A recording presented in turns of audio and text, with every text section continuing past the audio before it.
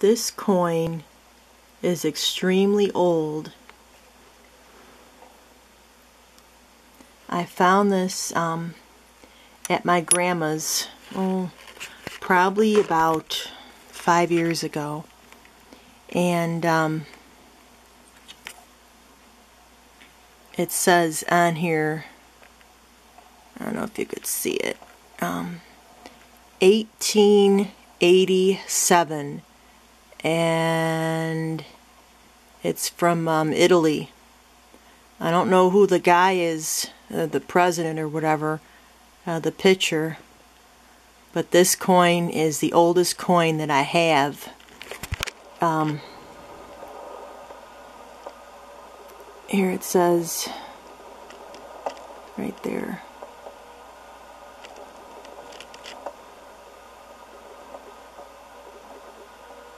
It Italy in Italian, I guess that is. um, it's so old. And here's the back of it. It has the letter L and I think it's a L and then 1 like a crescent design. Listen to how it sounds.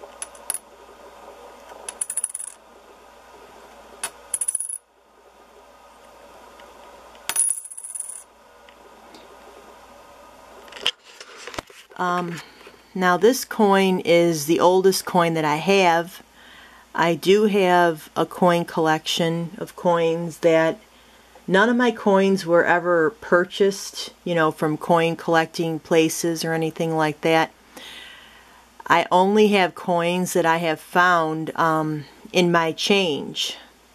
And some of the coins that are really old, um, my grandma gave me and I also have some foreign coins because um, years ago, before I was born, my grandma had worked at a department store called Grant's. And a lot of um, foreigners came in and um, they, when they purchased items in the store, um, they had foreign money with them. And that's pretty cool um, that I have this coin and I have some other um, foreign old coins and I will be doing a video sometime on my coin collection and those will be included. So yeah, 1887.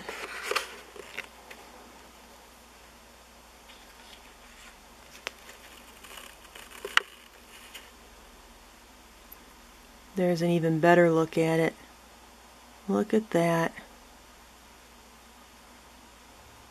I can't really pronounce um, the name on here. It's in Italian, but yeah, it's very, very cool. Very old. Probably, it's the oldest thing I, I own, probably. So, oh, besides um, these Victorian wedding slippers that my grandma's uh, friend gave her years ago before I was born. She gave them to her like back in the 1960s and they're from like 1855. Seriously, they're very old. And um, I had those on um, one of my older videos from November 2011, if you want to see them.